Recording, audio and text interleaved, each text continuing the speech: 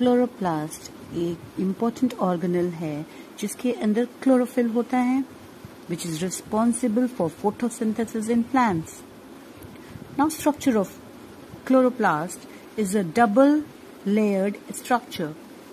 It has double wall 1 and 2 inner membrane and outer membrane or inside the chloroplast is present coin-like structures.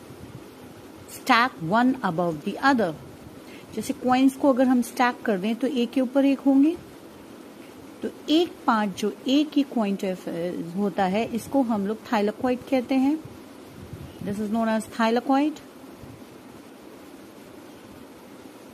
thylakoid and it is stacked one above the other जैसे कि coins को रख देते हैं। तब this is known as grana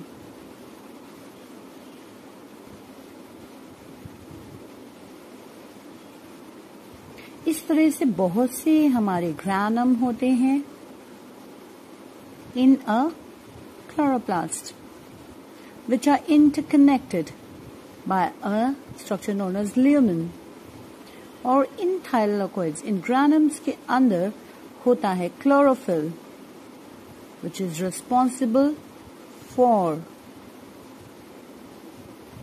photosynthesis